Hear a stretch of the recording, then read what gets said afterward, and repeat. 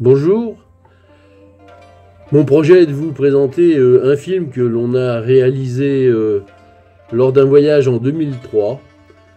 Euh, comme vous le verrez, la qualité s'en ressent un peu car la vidéo s'est bien améliorée depuis cette époque. Néanmoins, les informations qui restent sur ce film sont actualisées dans la mesure où ce pays du million d'éléphants évolue très lentement.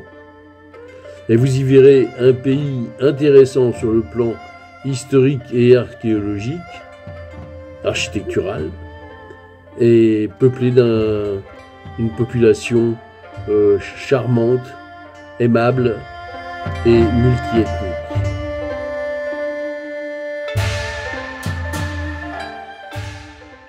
Commençons par situer le Laos.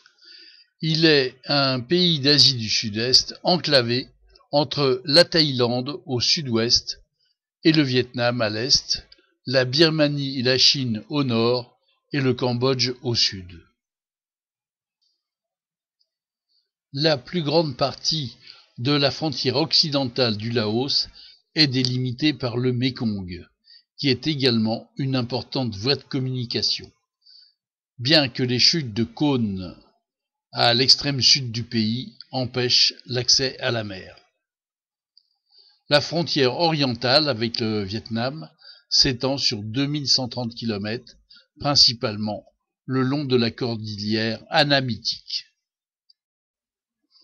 Nous sommes donc arrivés par Luang Prabang, qui est le point rouge au nord, puis euh, d'un coup d'avion Vientiane pour euh, une journée ou deux, et enfin, euh, le sud, euh, avec euh, Paxé, qui est une grande ville, et puis des sites archéologiques qui sont dans le sud, et avec les chutes de Cône, qui sont les chutes qu'il y a sur le Mekong.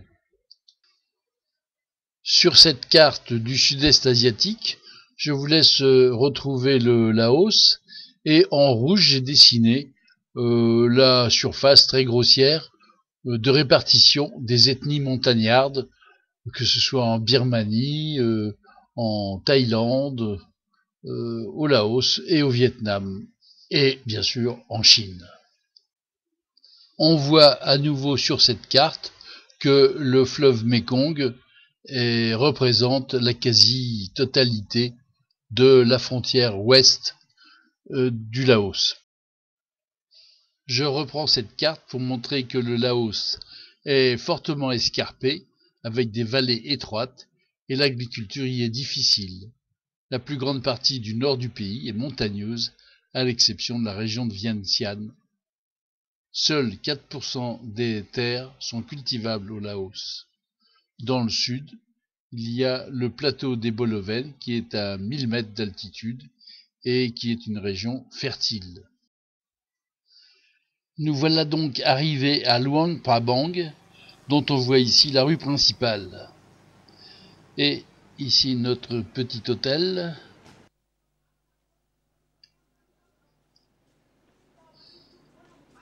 Les rives du Mekong. Luang Prabang est une ville très paisible qui fut capitale du Laos et qui va être notre capitale pendant huit jours.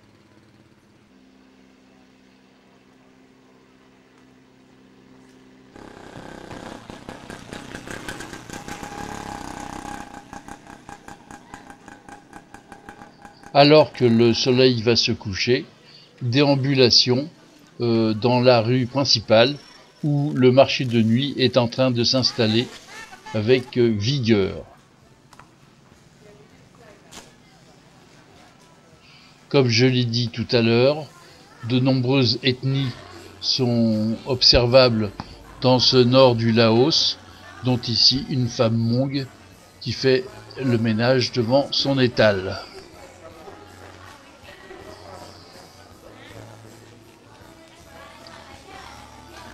Voilà donc notre chambre équipée de moustiquaires. Dès l'aube, vers 5h30, je vais assister dans la rue au défilé des bonzes quêtant leur nourriture pour le monastère. Il existe à Luang Prabang de très nombreux monastères et les bonzes y sont donc également très nombreux. Ces moines ont renoncé à tout ce qui définit notre société moderne et dépendent entièrement de la volonté, de la bonté et de la générosité des dévots pour se nourrir, se vêtir ou se déplacer. La tradition de l'aumône remonte au XIVe siècle et bien qu'elle soit pratiquée dans plusieurs villes du Laos, elle est particulièrement authentique à Luang Prabang. Alors que la cité est encore endormie, on commence à voir les habitants sortir silencieusement de leur demeure, les pieds nus, la tête découverte, ils s'agenouillent sur des tapis placés stratégiquement sur les trottoirs et préparent leurs offrandes. Souvent un bol du premier riz de la journée, fraîchement préparé, encore tout chaud, des fruits, des gâteaux et autres friandises. Les moines, drapés de leurs robes safran, pieds nus, leurs bols à aumône en bandoulière, sortent des monastères, du plus âgé au plus novice, dans un silence religieux.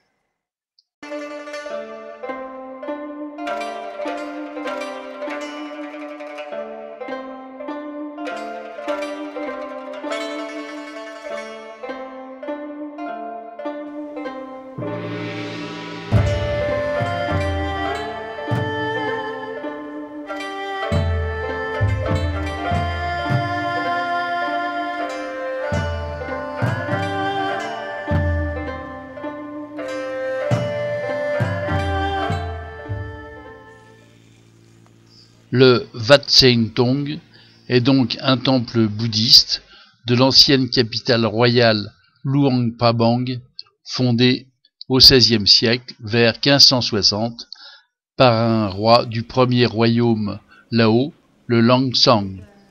Il est généralement considéré comme le plus élégant du pays. Il est situé à l'embouchure de la rivière Nam Khan dans le Mekong. Il est le centre d'un petit ensemble de bâtiments religieux, comprenant notamment un pavillon pour le char funéraire des anciens rois du Laos.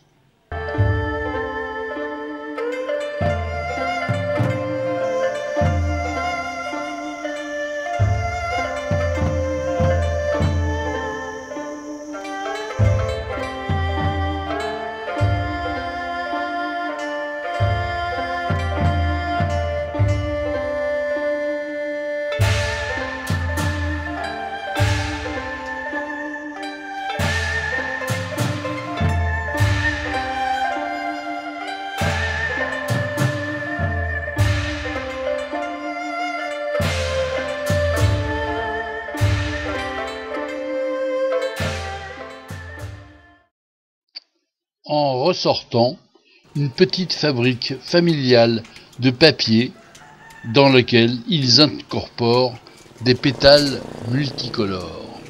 Très joli.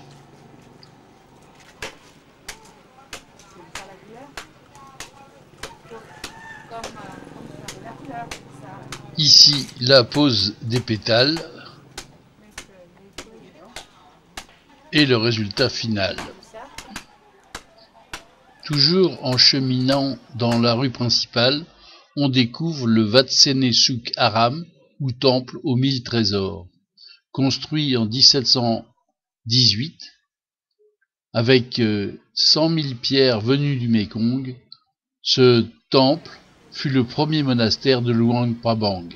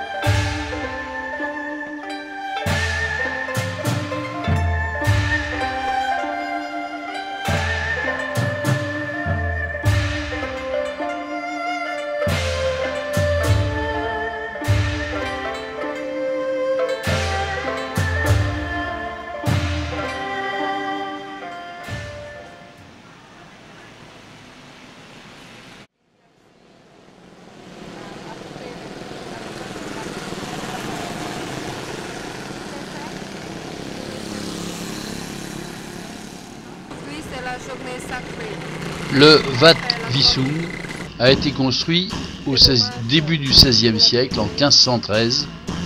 C'est le plus ancien temple encore en activité à Luang Prabang, on va l'entendre. Aujourd'hui, vous ne verrez que la version en briques du temple original en bois, brûlé par les pavillons noirs en 1887.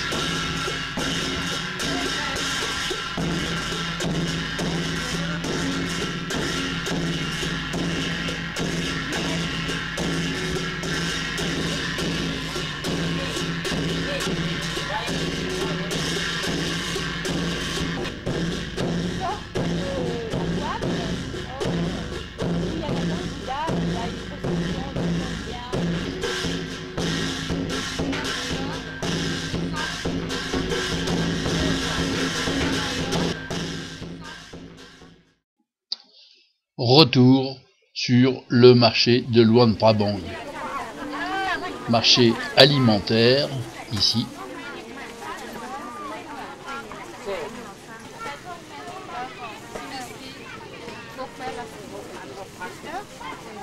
Marché aux poissons avec les ventilateurs faits d'un sac vide pour chasser les mouches.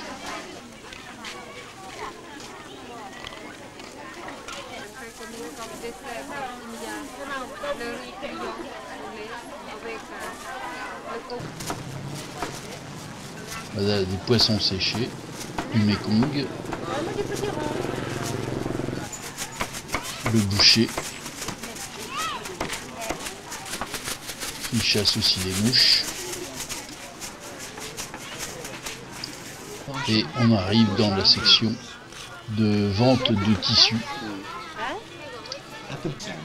L'artisanat étant très développé dans le nord du Laos.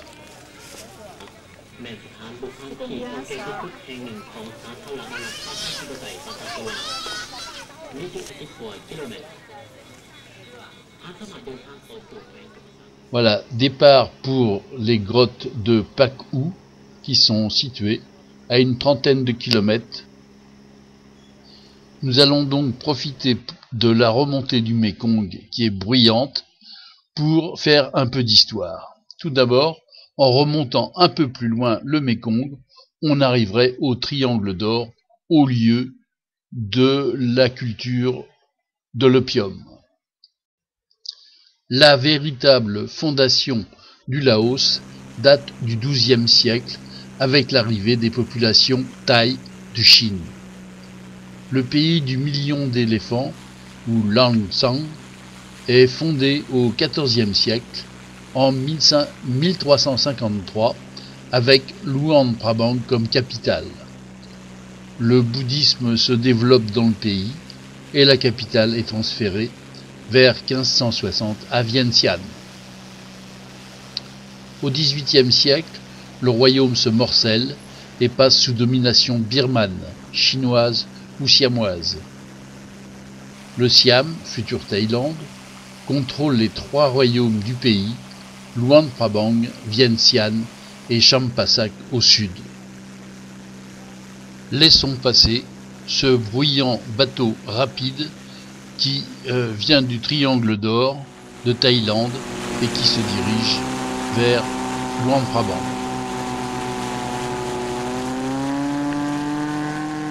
Un arrêt dans un petit village va nous permettre de visiter et de faire quelques emplettes, notamment des pièces de monnaie anciennes.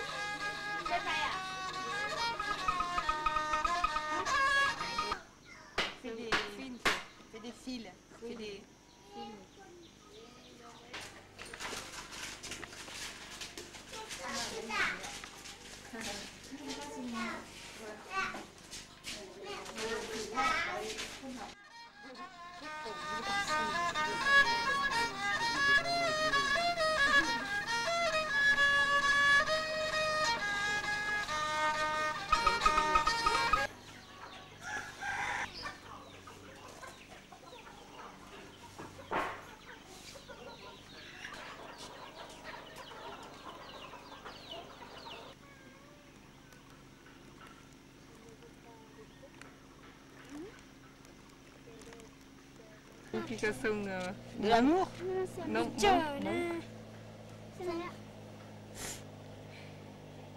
Je vais en prendre un. Hein. C'est combien ça? 2000 800 Combien?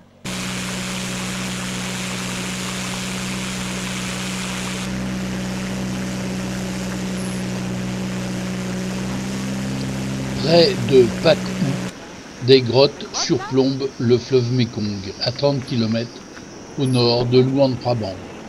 Il s'agit d'un groupe de deux grottes sur la rive ouest du Mekong, à environ deux heures en amont du centre de Luang Prabang.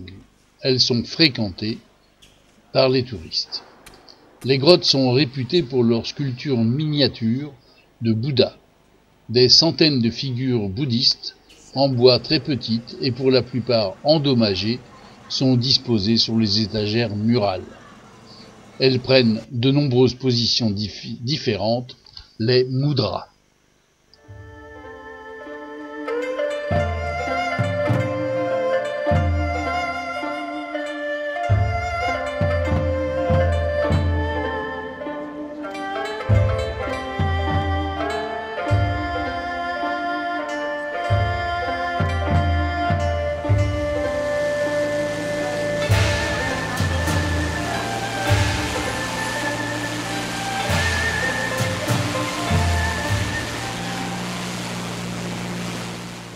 Après les verrachois et les cocons, le travail de tissage qui est très développé dans le nord du Laos.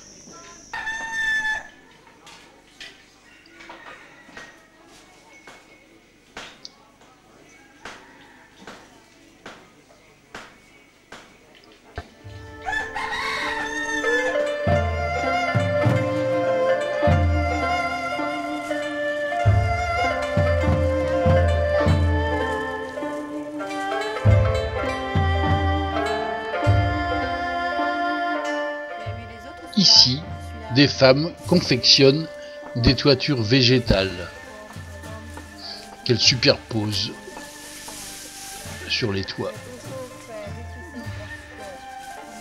Pendant que le chef de famille réfléchit en fumant sa pipe.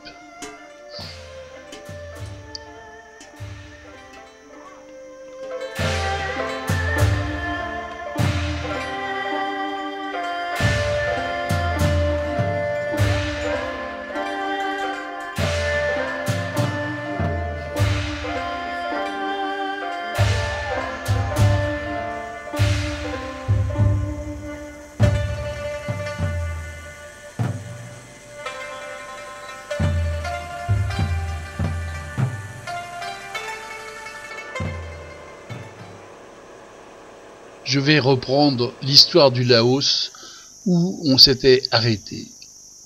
Les trois royaumes euh, du Laos sont unis pour faire partie de la colonie de l'Indochine française en 1887. En 1904, Sisavang Vong arrive au pouvoir. Lors de l'occupation japonaise, durant la Seconde Guerre mondiale, le Laos programme proclame son indépendance et le roi est renversé. Mais les Français, dès 1946, reviennent sur le territoire laotien et donnent l'autonomie au Laos au sein de l'Union française. Le roi est remis au pouvoir. Le Pathet Lao, le mouvement indépendantiste communiste, gagne de plus en plus d'influence, notamment grâce à son union avec le Viet Minh. Le pays est envahi par les troupes Viet en 1953. Les Français se retirent après les accords de Genève à la fin de 1953. Après avoir vu ces chutes d'eau, nous allons revenir sur Luang Prabang pour euh, monter en haut du mont Fuji, qui est une colline située au cœur de la ville et d'où on a une belle vue sur la ville dans son ensemble, notamment au coucher de soleil. J'en profite pour continuer sur l'histoire du pays. Le pays devient indépendant en tant que monarchie constitutionnelle, donc en 53. La guerre civile éclate en 59 entre le gouvernement et le Pathet-Lao, mouvement communiste. Et ici à droite, l'artère principale de l'ancienne ville de Luang Prabang.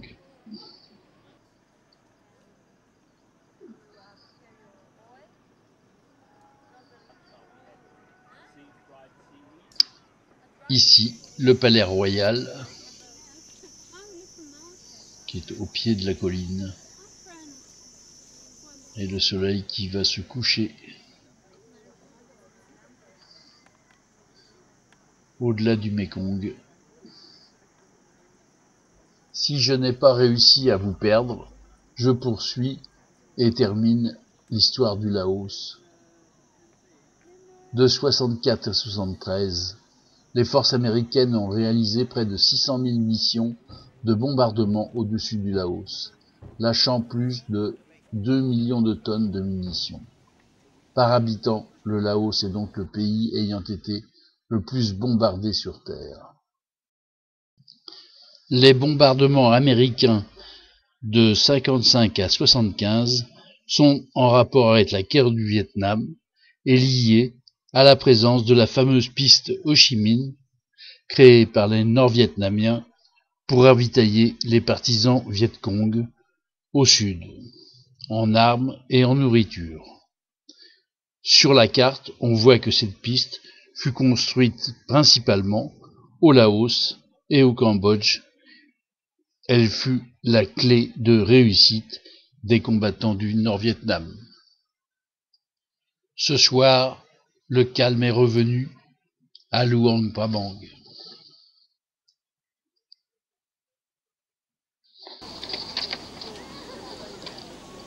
La tombée de la nuit va avec la descente des moustiques. Le lendemain matin, 5h30, je n'ai pu résister à aller voir le défilé des moines et leur quête journalière.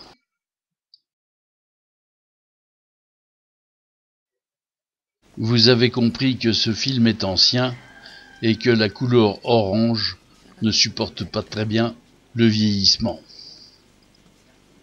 Pour le reste, je respecte le silence de la procession.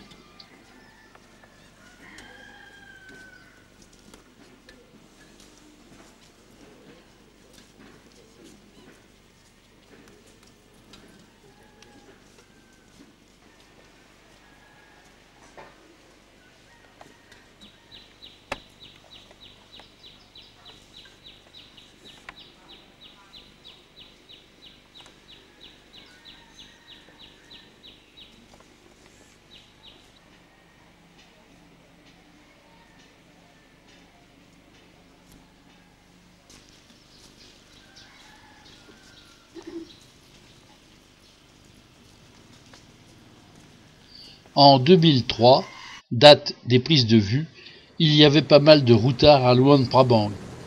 Nous avons donc décidé de retrouver notre bateau pour visiter le petit village situé sur l'autre rive du Mekong. Je viens de retrouver son nom, Bang Mine.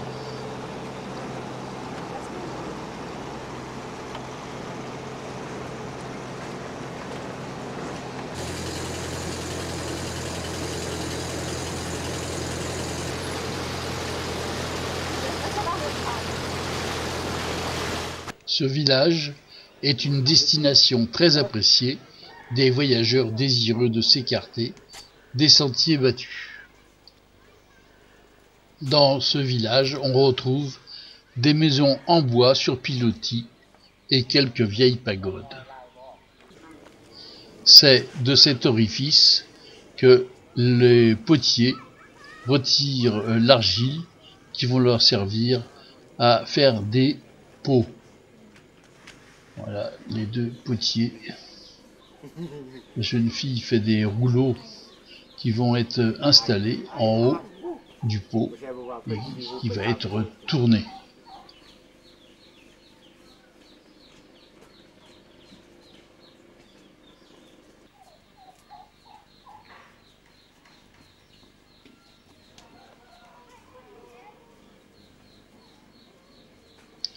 C'est dans ce four les poteries vont être cuites.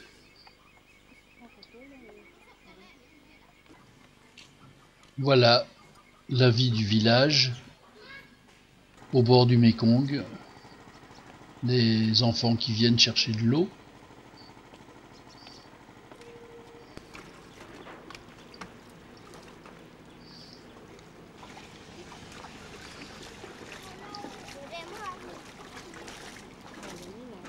Pour arroser les plantations.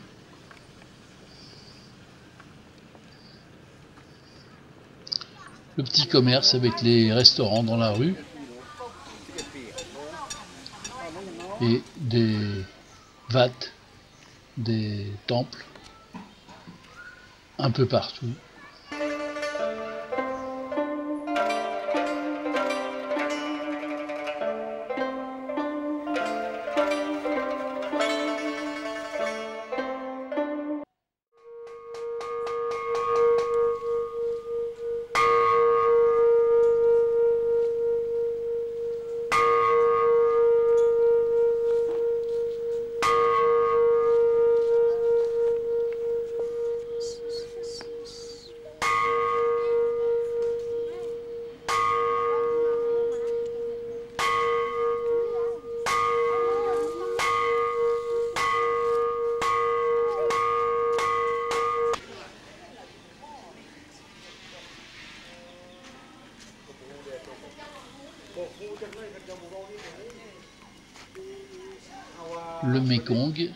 Et la vue du fleuve sur le mont Fusi, qui est le point culminant de Luang Prabang.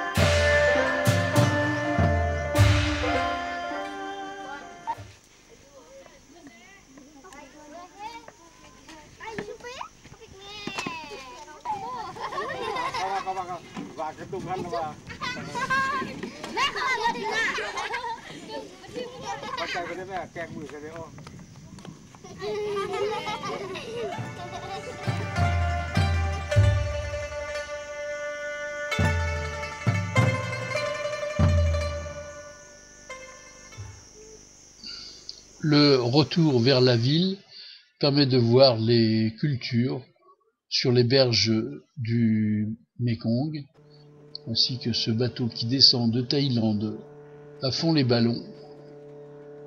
Très dangereux. Habituellement, tout le monde a un casque. Devant l'impossibilité de passer en voiture par Vientiane, siège d'émeute, nous prendrons l'avion pour une escale à Vientiane avant de pousser vers le sud Laos. Un des temples intéressants est celui de Sisaket. Il a été construit en 1818 par le dernier roi du royaume Langtang. Wat Sisaket n'a jamais été détruit, même lors du pillage de la ville, lors de l'invasion de l'armée siamoise en 1827. Le temple a été construit dans l'architecture de style thaïlandais, plutôt que là-haut. C'est peut-être ce qui l'a sauvé. Les Siamois l'ont utilisé comme quartier général lorsqu'ils ont détruit le reste de la ville, faisant ainsi de Vatsisaket le plus ancien temple debout à Vientiane. La caractéristique de Vatsisaket est ses murs de cloître qui contiennent des milliers d'images et de statues de Bouddha datant du XVIe siècle. Il y a environ 7000 images de Bouddha qui vont des grands Bouddhas assis qui tapissent les murs aux minuscules personnages assis dans les petites alcôves derrière eux.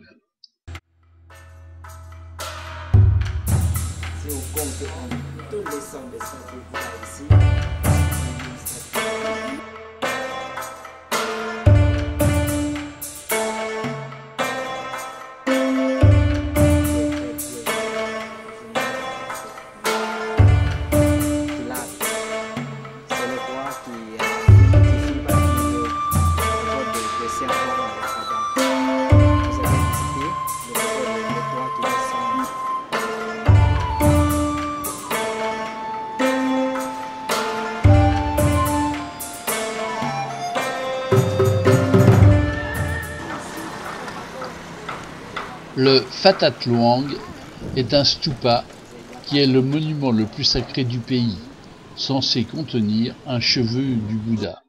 Il est l'emblème officiel de la République démocratique populaire Lao et figure sur ses billets de banque. Vientiane est une capitale bien tranquille, à le long du Mekong, qui fait plus penser à une ville de province qu'à une capitale nous n'y resterons pas plus longtemps. D'un trait d'aile, nous nous dirigeons vers le sud du pays.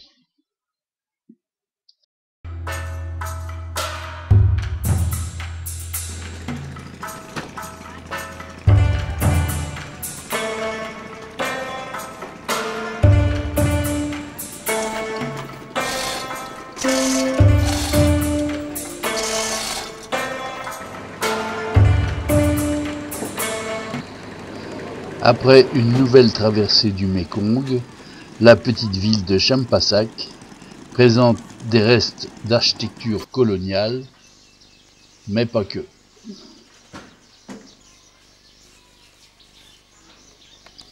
Donc, tout à fait au sud du Laos, nous arrivons au temple de Wat Phu. C'est le site archéologique le plus imposant du Laos. Il est inscrit au patrimoine mondial de l'humanité malgré sa dimension modeste par rapport à celle d'Angkor. Le Phu, traduit littéralement par temple de la montagne, est considéré comme le berceau de la culture khmer. Sa fondation au Ve siècle est l'œuvre du premier royaume d'importance de la région, le Shenla. L'ensemble actuel du XIe siècle préfigure les temples montagnes qui s'élèveront au Cambodge et en Thaïlande. Il comprend deux villes anciennes postées à proximité du fleuve et une, succession d'ouvrages, de réseaux hydrauliques, de temples, dans un axe reliant le Mekong à la montagne, le Pubasak. Le relief en forme de lingam incarne Shiva. Le Wat Phu devint rapidement un centre religieux d'exception pour les Khmers. Ce plan montre encore au XIIe-XIIIe siècle. Ces plans d'eau, les barailles, mesurent 8 km de long par plus de 2 de large. Ils permettaient de réguler les eaux des rivières, emmagasinant l'eau lors des moussons, puis servant à irriguer les rizières après. Ils ont largement concouru à la richesse du royaume khmer.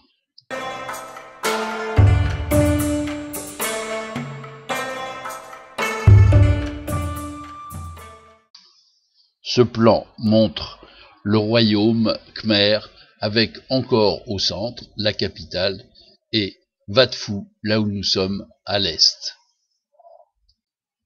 À l'image du célèbre temple d'Angkor au Cambodge, le Wat Phu est impressionnant. Situé dans un cadre naturel totalement reculé, au pied de la montagne sacrée Phukao, ce site paraît mystérieux.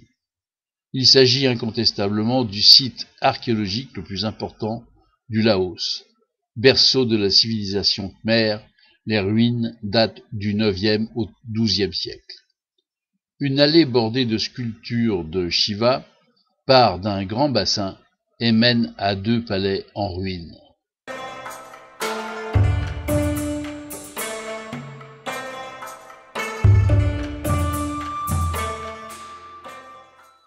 Derrière ces ruines, un grand escalier conduit au sanctuaire.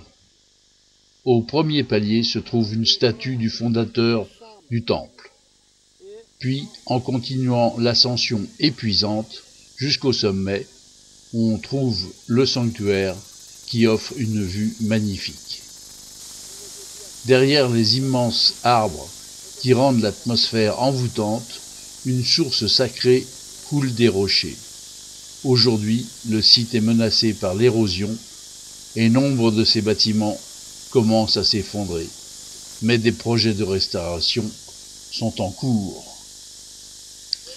Wat Phu est un temple pré-angkorien. Ici, le temple principal était dédié à Shiva. Mais c'est Bouddha qui finalement l'a investi. Et Annie qui va faire une offrande.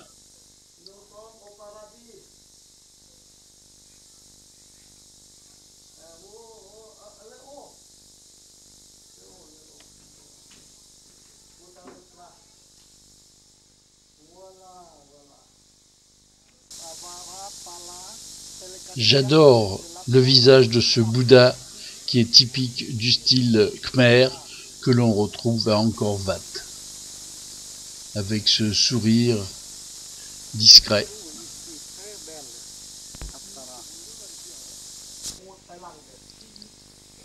Détail de construction,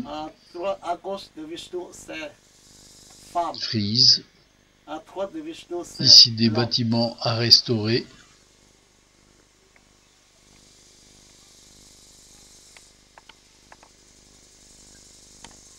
Et ici, la Trimurtri, c'est-à-dire euh, les trois dieux hindouistes, avec euh, Brahma ici avec ses trois têtes, Vishnu avec tous ses nombreux bras, il a quatre têtes aussi, là. et on n'a pas vu Shiva.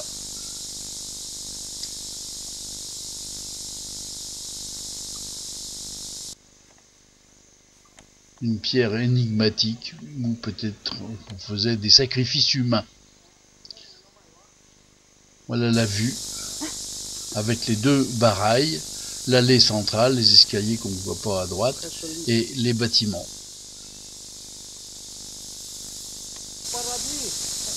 Quelques pèlerins et l'escalier avec les frangipaniers particulièrement bons à cette époque.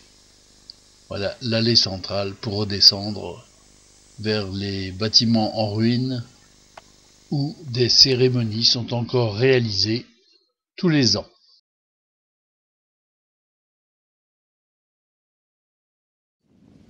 Après avoir vu Vadfou, il y a un peu de route, mais surtout un peu de bateau sur l'artère principale du Laos qu'est le Mekong.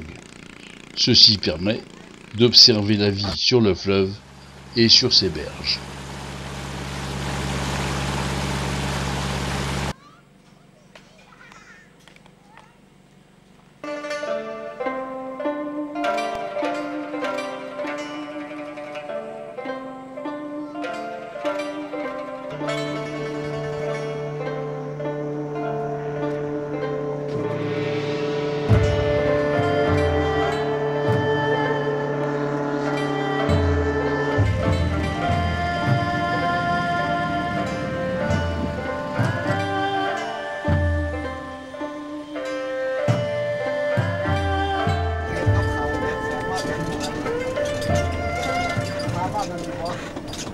Au passage, nous allons visiter dans le village improbable de Oumyang les restes d'une ancienne cité khmer en bordure du Mekong. Comme dans tout le sud-est asiatique, on retrouve toujours ces maisons sur pilotis sous lesquelles toute la vie se déroule, même le séchage de la pêche de la journée. Nous voilà donc comme Indiana Jones à la recherche de la cité perdue.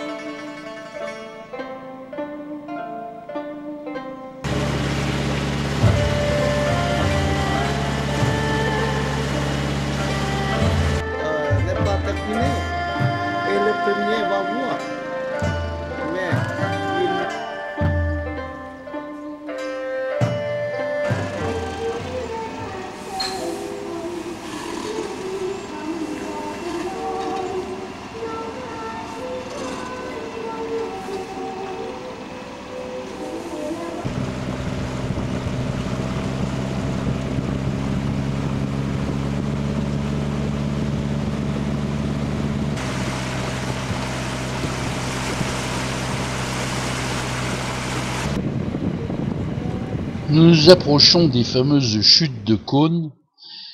Il s'agit de cataractes barrant le cours du fleuve avec de très nombreuses îles. À son plus large, le Mekong, avant d'entrer au Cambodge, mesure plus de 8 km de largeur. Au XIXe siècle, lors de la conquête de l'Indochine, le, le fleuve, qui ne pouvait être remonté par les bateaux, du fait des rapides infranchissables, une ligne de chemin de fer fut construite sur quelques kilomètres pour y faire passer hommes et bateaux.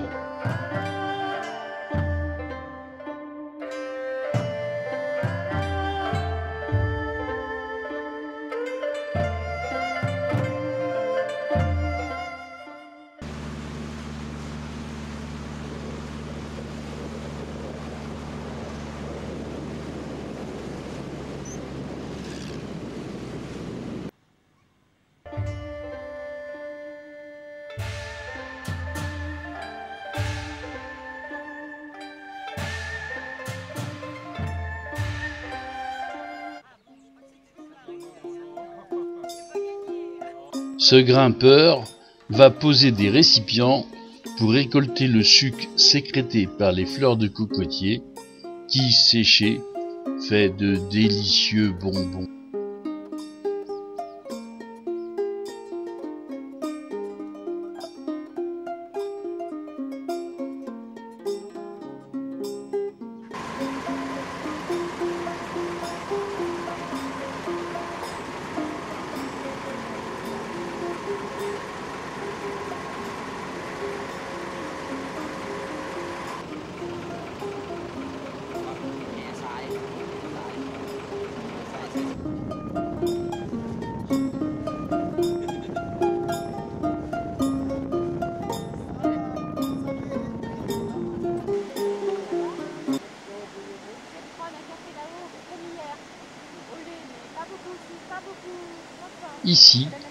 Sommes à un endroit où le fleuve est relativement étroit. On imagine que le crabe tambour ne pouvait franchir ces chutes.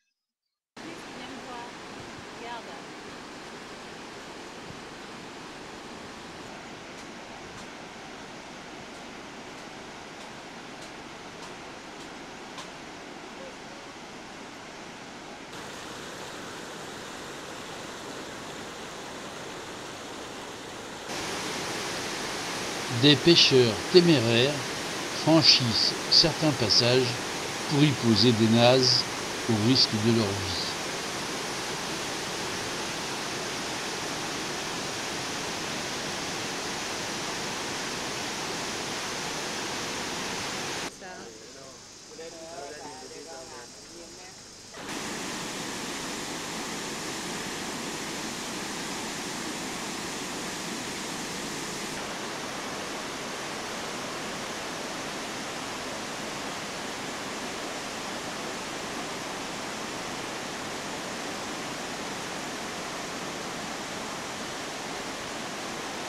Après quelques kilomètres, nous nous dirigeons vers un site archéologique unique et mystérieux. Peu de gens le connaissent. Il est situé au bout d'un chemin, sur un petit plateau. Pour y accéder, un petit village fournit éléphants et cornacs.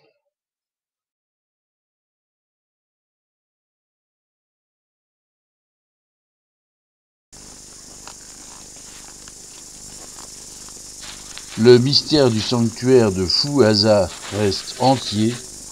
Il remonte au Xe siècle, donc à l'époque du temple de Fadfou que l'on a vu tout à l'heure. Pour d'autres, il s'agirait des ruines d'une ancienne forteresse du roi Asa ayant vécu au XIXe siècle. Le mystère reste entier. Ça bouge trop, non? Bah non.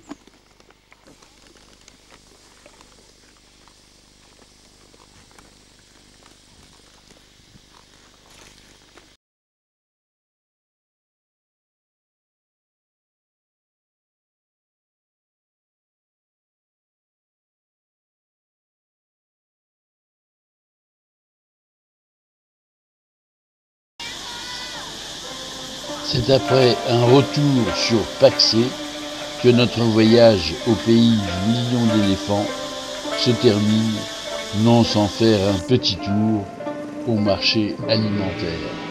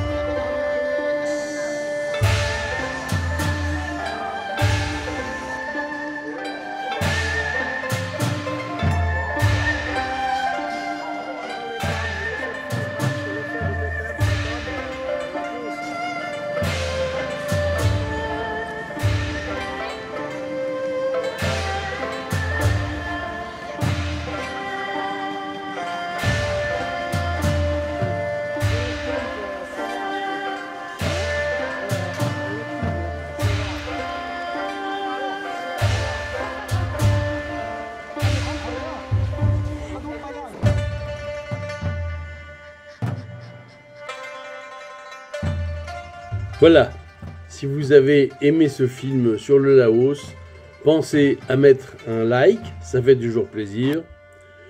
Sur ma chaîne jiji.fourel, vous trouverez plein d'autres films sur des sujets euh, très différents, des pays différents également, et il y a quelques pépites. Voilà, à bientôt. Au revoir.